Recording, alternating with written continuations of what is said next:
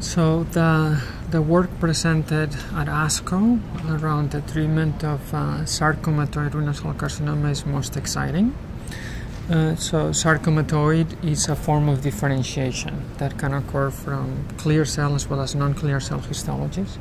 Most of the studies that are being presented are focusing on the clear cell tumors, uh, but uh, there is a consistent trend um, that pretty much cuts across the regimen, whether it be nivolumab and ipilimumab, or whether it be pembrolizumab and axitinib, or whether it is a combination of um, uh, uh, that is not going forward uh, clinically, um, the combination of um, uh, bevacizumab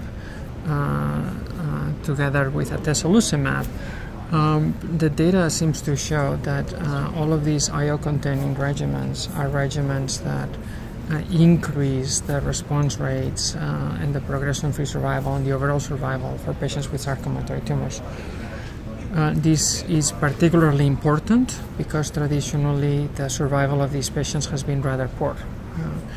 Uh, so, um, sarcomatoid tumors do not respond well to, to traditional targeted therapies.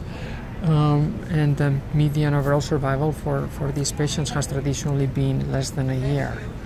So, so these uh, IO containing regimens are making really a big difference uh, in this patient population.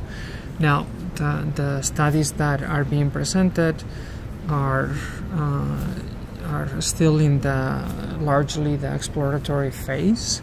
Um, um, in the pembrolizumab axitinib study, uh, looking at the sarcomatoid population was uh, one of the pre-specified secondary endpoints, but in the case of uh, uh the Checkmate 214 trial of nivolumab and ipilimumab, this is uh, unspecified post hoc analysis, and uh, in the case of bevacizumab and, and atezolizumab, uh, this combination is not going forward, so it's not going to be available for patients.